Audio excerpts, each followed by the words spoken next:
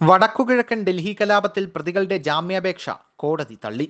പോലീസിനെതിരെ വെടിയുതിർത്ത ഷാരൂഖ് പഠാന്റെ ഉൾപ്പെടെയുള്ള പ്രതികളുടെ ജാമ്യാപേക്ഷയാണ് കോടതി തള്ളിയത്.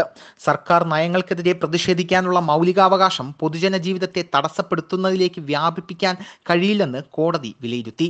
ജാഫറാബാദ് പ്രദേശത്ത് വച്ച് പോലീസിനും ജനക്കൂട്ടത്തിനും നേരെ വെടിവയ്പ് നടത്തുകയും പോലീസ് ഹെഡ് കോൺസ്റ്റബിളിനെ കൊലപ്പെടുത്താൻ ശ്രമിക്കുകയും ചെയ്തെന്ന കുറ്റപത്രം ഷാരൂഖ് പഠാൻ എന്നയാൾക്കെതിരെ പോലീസ് സമർപ്പിച്ചിരുന്നു. Delhi police head constable Deepak ദഹിയയ്ക്കെതിരെ ഇയാൾ തോക്കു ചൂണ്ടി നിൽക്കുന്നതിന്റെ ചിത്രം സമൂഹ മാധ്യമങ്ങളിൽ പ്രചരിച്ചിരുന്നു. മുന്നൂറ്റി അൻപത് പേജുള്ള കുറ്റപത്രമാണ് പോലീസ് സമർപ്പിച്ചിട്ടുള്ളത്.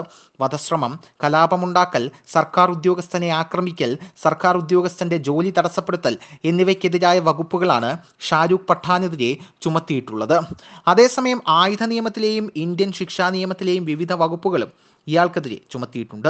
ഡൽഹി കലാപവുമായി ബന്ധപ്പെട്ട് പോലീസ് ആദ്യം അറസ്റ്റ് ചെയ്തതും ഷാരൂഖിനെയായിരുന്നു. ഉത്തർപ്രദേശിലെ ഷാംലി ജില്ലയിൽ നിന്ന് മാർച്ച് മൂന്നിനാണ് ഇയാൾ അറസ്റ്റിലായത്.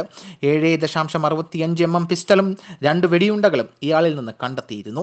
ഒടുവിൽ താമസിക്കാൻ ഇയാൾക്ക് സൗകര്യമൊരുക്കിയ കരീം അഹമ്മദ് എന്നയാളെയും പോലീസ് അറസ്റ്റ് ചെയ്തിരുന്നു. കരീം അഹമ്മദിനും ഇഷ്തിയാഖ് മാലിക് എന്നയാൾക്കും എതിരെയും കേസെടുത്തിട്ടുണ്ട്. News desk Malayalam express T